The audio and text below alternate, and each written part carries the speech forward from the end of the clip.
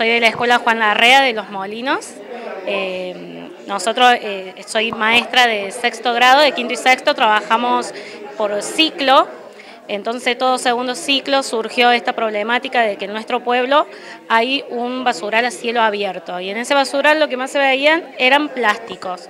Con estos plásticos por lo general suelen prenderse fuego, entonces ocasionan otras problemáticas ambientales.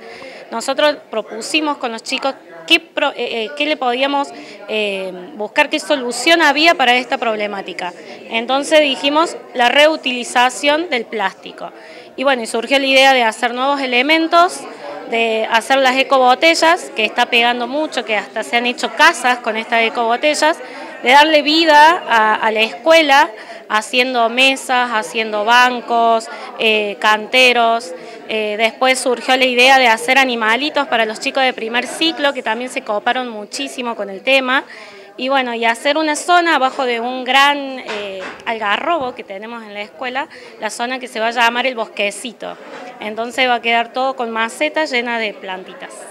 ¿Está cambiando un poco la escuela este proyecto? Sí, sí, se nota la toma de conciencia en el chico y el impacto que ha generado el hecho de que ya no hay más envolturas en el patio, no hay más papelitos tirados que en otros años se notaba, era me comí un chupetín y tiré la envoltura y ya está y vení, alzalo, llévalo al cesto, no, ni, ni en los cestos, todo va a la botella. Entonces con la botella vamos a hacer otras creaciones.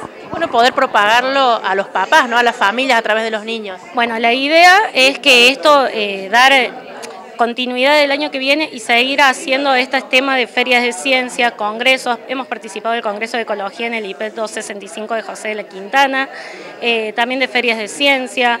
La familia hemos pedido aporte y ayuda para hacer los animalitos y de la casa toda la basura que ellos tienen en la casa, porque ya en la escuela no hay más papeles, no hay más envoltura, no hay más nada para meter en las botellas y es necesario seguir haciendo. Entonces de la casa ellos traen todo eso y inclusive hacen ecobotellas los fines de semana en su casa y traen a la escuela.